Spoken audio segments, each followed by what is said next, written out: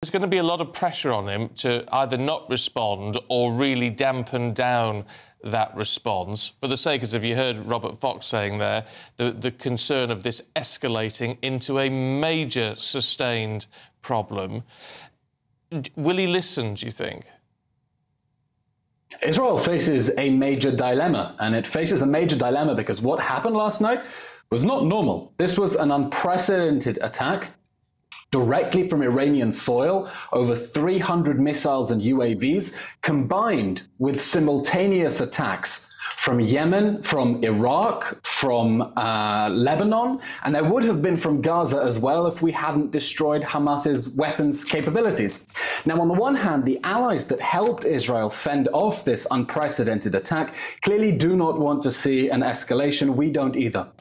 But on the other hand, Israel cannot allow ballistic missile attacks from Iran to become the new normal.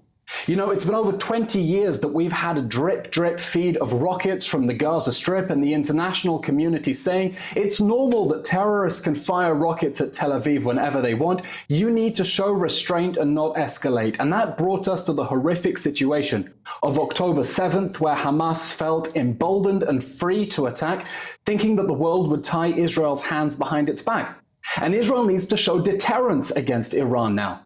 Because we can't allow a situation in which the next time Iran wants to flex some muscles against Israel, it knows that the new normal is that it can fire ballistic missiles at Israel. That isn't a reality Israel will accept. It's definitely not a reality that Britain would accept. So, what do you think Israel will do next? Well, I know that Israel has already called for an urgent meeting of the UN Security Council. Uh, it is demanding that it condemn Iran's attack and formally designate the IRGC, the Revolutionary Guards, as a terrorist organization. We hope that the unprecedented cooperation that we saw with regional partners Yesterday, not only the UK, the US, France, media reporting that even Jordan and Saudi Arabia intercepted airborne threats, that that cooperation will bring together a global coalition against Iran.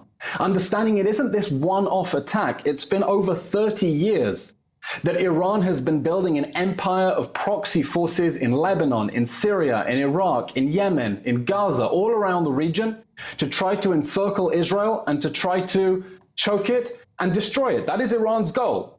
Iran wants to destroy Israel. And Iran wants to destroy Israel because it knows that Israel is the only thing standing between it and regional domination.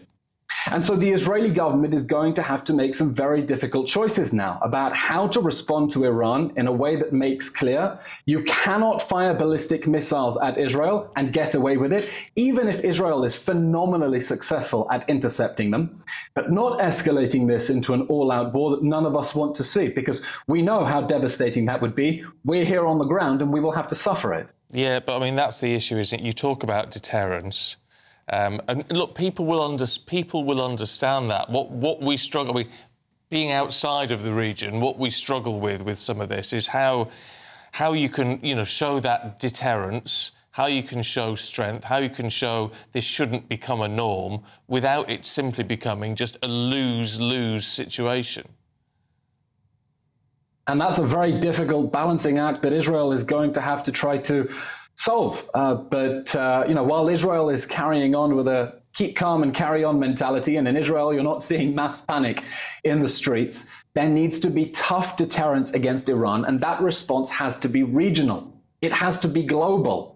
The world has to close ranks and tell Iran you cannot continue this aggressive activity of arming terrorist armies to the teeth in Lebanon, in Syria, in Iraq, in Gaza, in uh, Yemen, all over the region.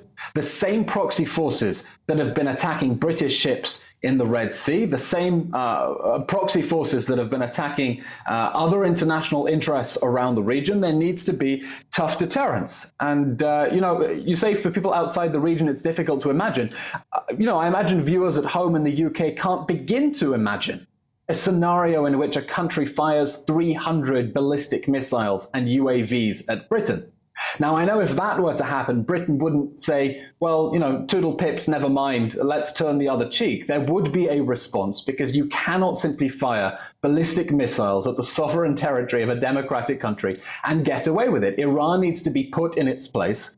And it's important that Iran be put in its place with a regional coalition and not by Israel standing alone. And Right, yesterday right. was definitely encouraging to see All that right, let- regional let- response. Let me ask you about that then, because how do you get a regional response against Iran when, you know, the, the, the, from what we see, our perception at least is that the vast majority of the region around Israel is going to be more pro-Iran than pro-Israel. Now, the, the global the global view may be different, but how do you generate a regional response in a region that seems to be anti-Israeli? The geopolitical lines in the Middle East are now between Israel and the moderate Arab nations against Iran and its axis of terror.